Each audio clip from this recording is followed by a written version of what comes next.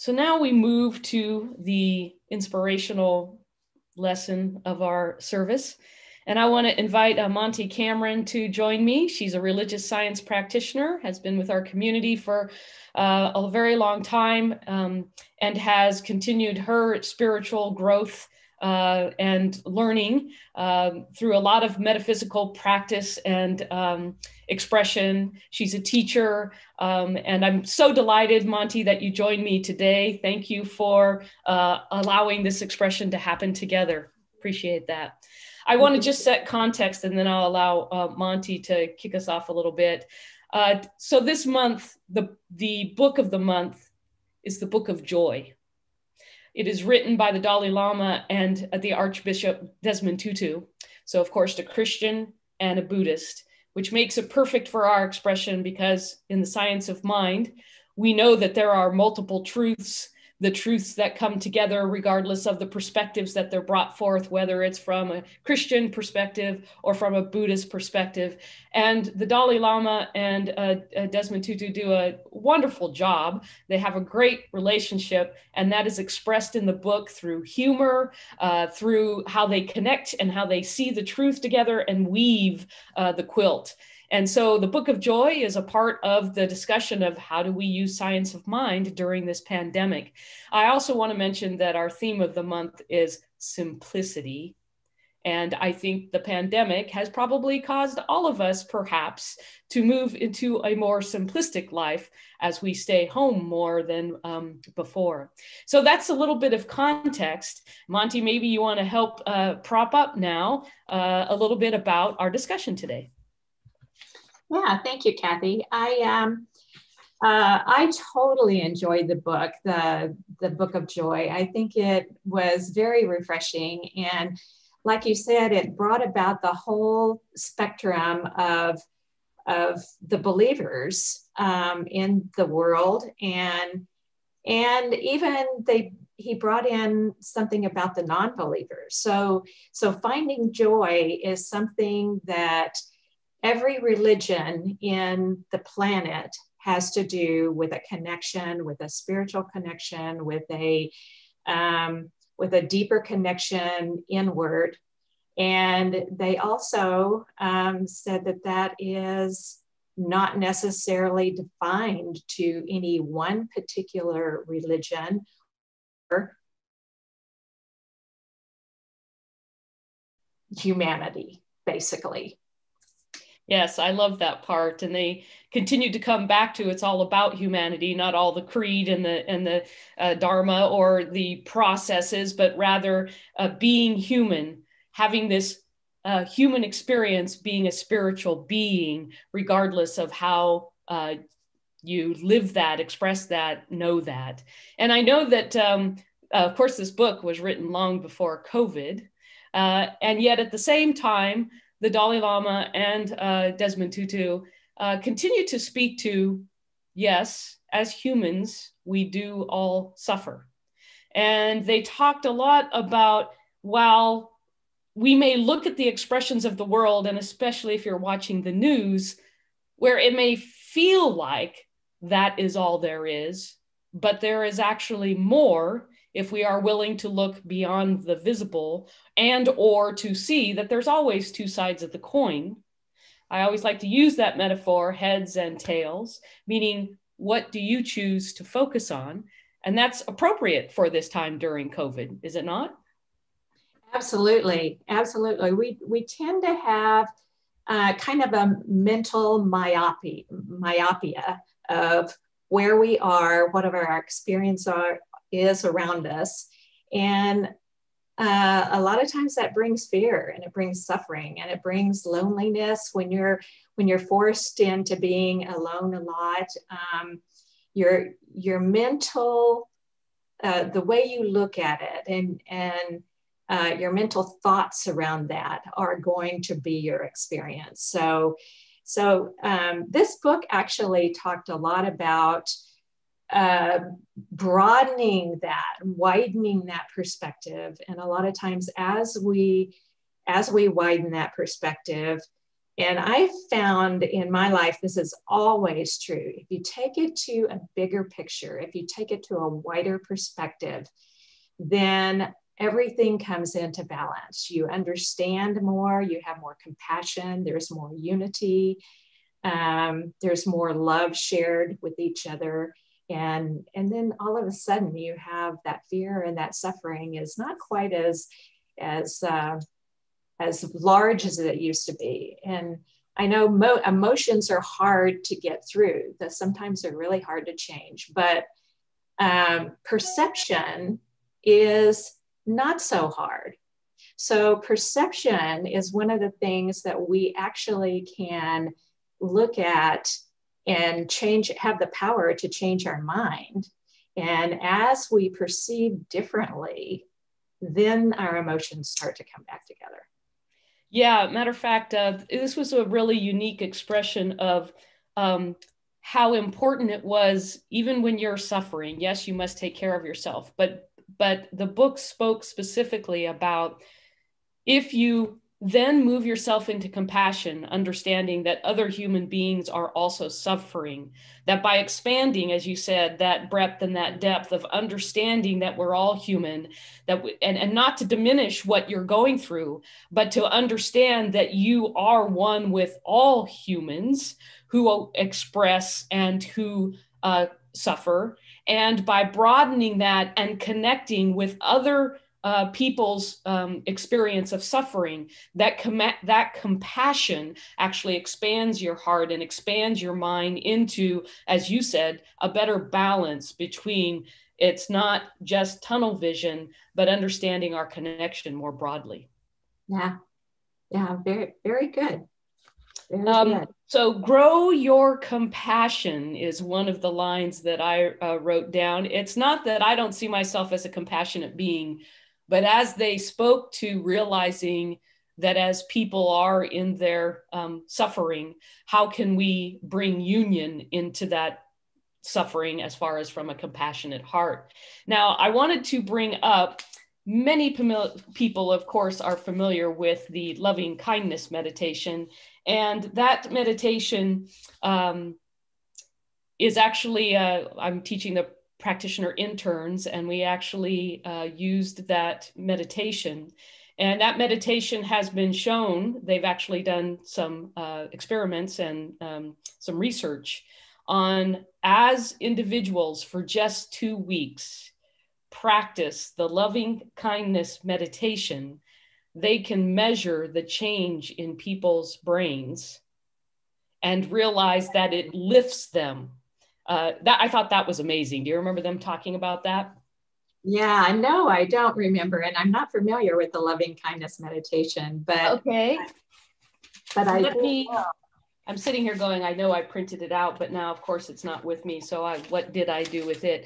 Uh, it is the meditation that I know that you have heard before. Here it is. That is, may I be filled with loving kindness.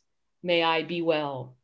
May I be peaceful and at ease. May I be happy.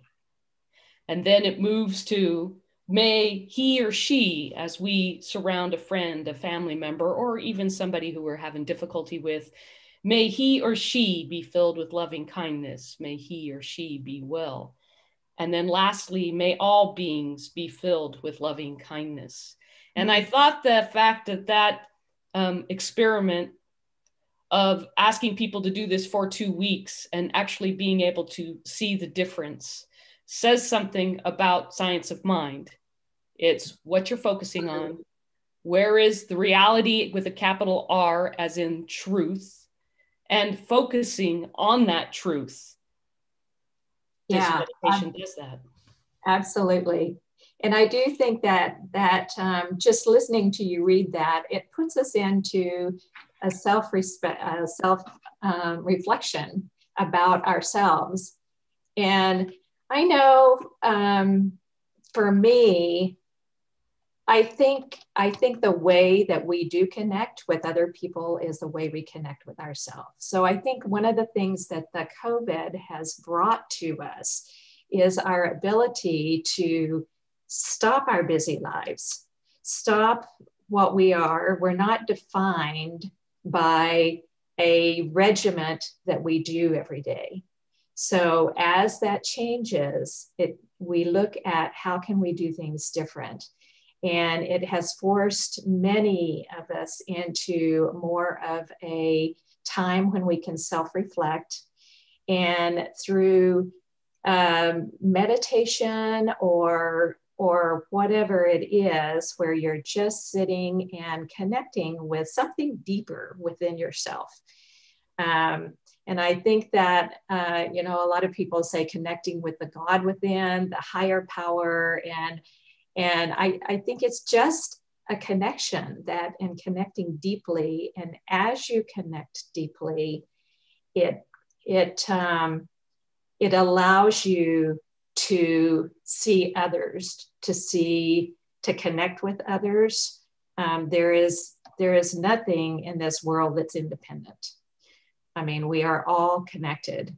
And so as we as we connect within, we find out that there is that wholeness, that there's everything that we need right there, which is the same for all people. And and I we can't really connect with other people until we connect with ourselves. It's beautiful. And uh, I, I want to go back to I've had um, a couple colleagues say, "Oh, I can't do meditation," and I want to say then with that beautiful song that these um, high schoolers uh, created and sang, then sit with that because I, I I don't know how you can't open your heart even just sitting with that song and therefore connecting with yourself, even if it's through music. In other words, spiritual practice comes in many forms the opportunity with the song is to sit with that, to have your heart open, and to then connect with yourself um, from that domain rather than constantly being in our head or constantly expecting the outside world to bring us the peace and joy that we can actually find sometimes with just sitting with the song. Yeah, yeah, wasn't that lovely? I yeah, uh, it just it said it all. yes. and I wanted to lean into what you said about, uh, you know, what have we learned during COVID? Oh, well, um, you know, people may not like what's changed, but we've all had to deal with lots of change, whether that's wearing a mask, how we go to the store, uh, how much we're staying home versus out, I don't know, shopping or doing other events and activities. And while i realize you know for those that like to go to concerts or even in our in our um, community love to come together at the center so that we can love and exchange hugs and and be with one another um, there has been a sense of understanding about change. And um, uh, we have the saying you know change your thinking change your life.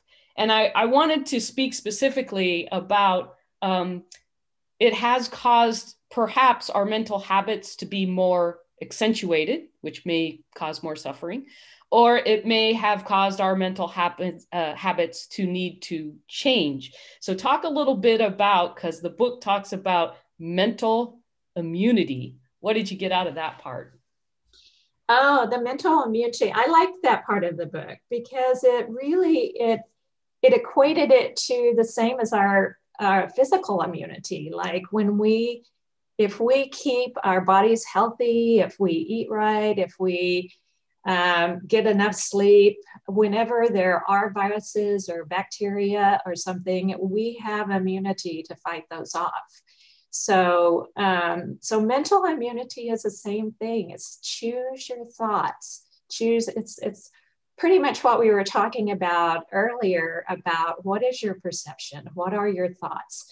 And if your thoughts are uh, based on what's going on with, with you individually, solely alone on a day to day basis, then what is the good about that? What is there? There is good in the world that can come about it. And I, I think COVID has um, you talked about what have we learned and and i think we've learned a lot about not only about ourselves that we can choose differently but we've learned about how to take care of the planet and how we how we live with the planet. I i think um, uh, we already knew it mentally you know we have to slow down the the all of the carbon emissions and and but the ability to do that is is we now learn that we can do it. We can do it and we're okay. And i don't think we'll ever go back to where we were. So no.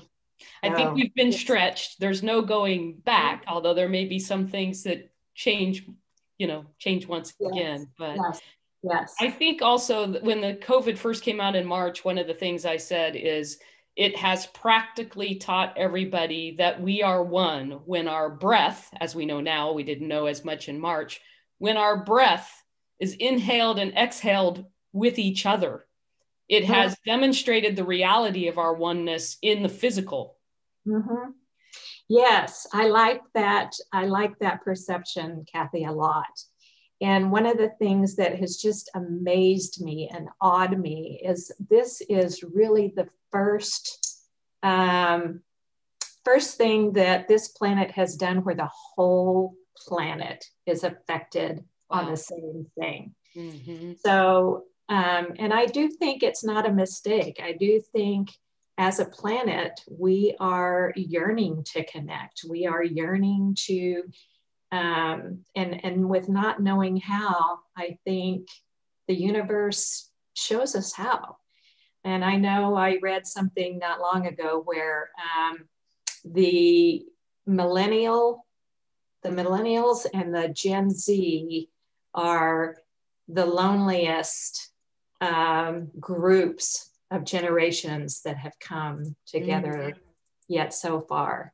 Wow. And so, um, so I, I think it's, uh, I think it's time. I think, I think it's very timely, and it's. so you're basically, you're basically saying the pandemic is a calling, and many times we want to judge, mm-hmm. judge the pandemic, judge COVID. Mm-hmm. But what it has done, as you were saying, maybe created a common enemy for all of us as the world to now come together uh, to uh, determine how we can work together to overcome this, regardless of how that happens. It's all God, whether it's a vaccine or some other form. But it is a calling to the whole world. And, you know, we weren't so globally connected as we have been since the internet. Of course, the internet is not everywhere. And that has also been raised as a, very visible the haves versus the have nots. I know in education, we're talking about that a lot, even from a state and federal level. How do we get the internet available to everybody? Why? Because that's how we're connecting. And, and so there are things that have come out of COVID during this time that are causing shining lights over here. We can do this. We're going to work on this together and brings Absolutely. about new um, intentions. Yes. Absolutely, and it absolutely brings out those uh, those feelings of compassion and loving kindness, and how can we how can we do this together? How can we connect? Yeah. Um, I have uh, the book called How to Use Science of Mind. Again, this is a, a part of the practitioner uh, training. So, any practitioner has, of course, read this book. Mine is a very old version in it, it's um, I, I want to start with that uh, Ernest Holmes has said that a trained mind is much more powerful than an untrained mind. Now, a lot of people don't like to hear the word discipline, but you know, if we if if um, I want to be careful about this, but as we're a kid, uh, we tend to follow our emotions heavily. And as we grow up, we have to learn to deal with those emotions and um, uh, work through for ourselves through those emotions to do what is right for us to do. And in uh, page 20, it says, in metaphysical practice, we arrive at this conviction through a process of thinking. The process itself is not the conviction, it's the road that leads to it to the average individual, this process is necessary. And what it's really talking about here is our affirmative prayer, which we call science of mind treatment, uh, actually moves us from where we may be in perhaps looking at a worldly uh, situation and moving us back to what we call first cause. In other words, what's reality with a capital R? Truth is love, peace, power, beauty, joy, life their wisdom, harmony. And we use this process to move our thinking to an understanding uh, as we were talking the more um, the broader perspective and then allow ourselves in that science of mind treatment to move towards the conviction of the intention of i'm going to live the greater truth the reality uh, of knowing that there is love of knowing that we are one of knowing that we're connected that we suffer together. And i'm going to continue to use um, as those uh, students did uh, when they were in the in the song where they said uh, we're stronger than the distance between us and we are not together but we are not alone. Mm-hmm. yes absolutely. Absolutely and that bringing us together with uh, you know what what ernest holmes brought to us is you're right a unity. We are all we have everything we need. Um, and again i will go back to that connection is made to our oneness and to our wholeness through connecting deeply connecting deeply within Yes. And it isn't it interesting that our theme for this year was deepening our spiritual connection. There you go. There you go.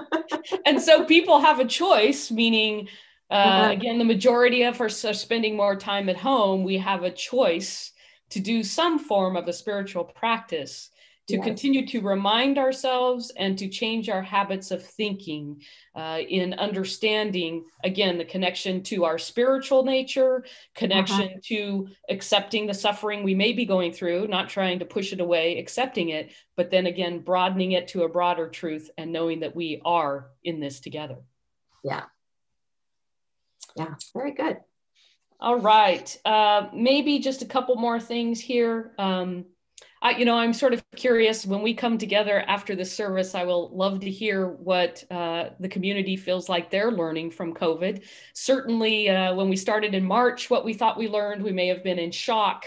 Certainly now, being how many months later, six months later, um, what have we learned now? Sometimes looking in hindsight, uh, we get that broader uh, perspective because we're looking over a broader period of time and being able to share with one another uh, maybe as you said what's probably not going to change back? In other words what are the things that uh, perhaps um, if there's more of a spiritual practice that's been developed or other habits that help us create our physical mental spiritual uh, immunity that perhaps that's what's going to stick with us going forward. So, what would you say, Monte, for you personally? Are there things that you feel like you've learned and this is what I see going forward?